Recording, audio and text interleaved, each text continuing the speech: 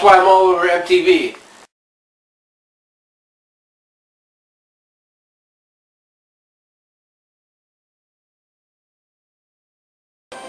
Do this, do this thing. Am I freaking idiot? I'm gonna, eh, I- I'm gonna shoot you. I'm gonna take off.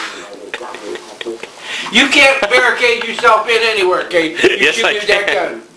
I'll go down and get the freaking baby gun. then you'll be under arrest. What the hell? You need the light on. Kay, why don't you be normal? Get, go a girl or something.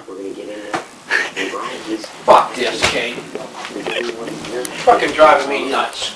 He's scared of a little normal fucking light. Shoot me that motherfucking gun and I'll fuck you up, I'll tell you what. I'm gonna do it.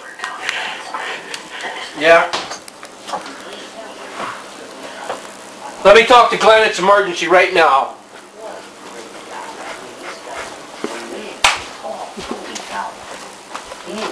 The proof that Tex, whatever you do in Texas is going to be bigger than every every other place, and and it's.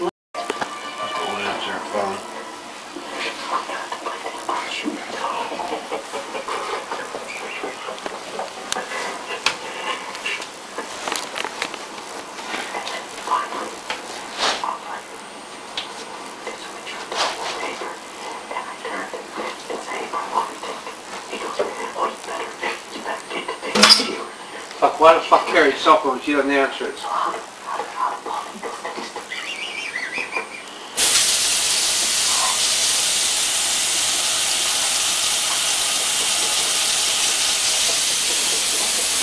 No shit.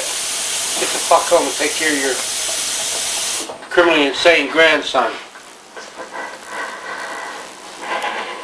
Two bites of sandwich.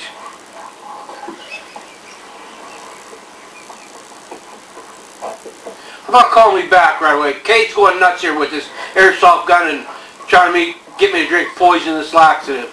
Just, he's driving me nuts. You just better get home. I can't fucking deal with this anymore.